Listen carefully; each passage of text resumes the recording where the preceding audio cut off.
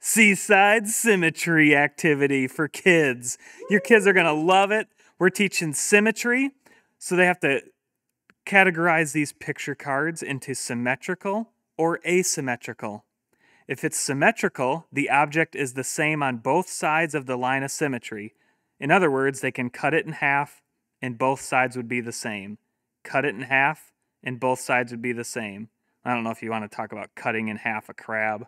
That'd be kind of weird. But anyways, oh, anyways, uh, cut in half the sun, both sides are the same.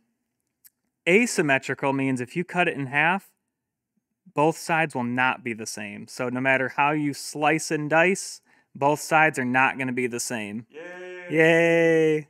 All right, and then it also includes an activity worksheet where the students can put their name up top and define what symmetry is, and then draw a line to cut those shapes in half so that both sides are exactly the same. Your kids are going to love this.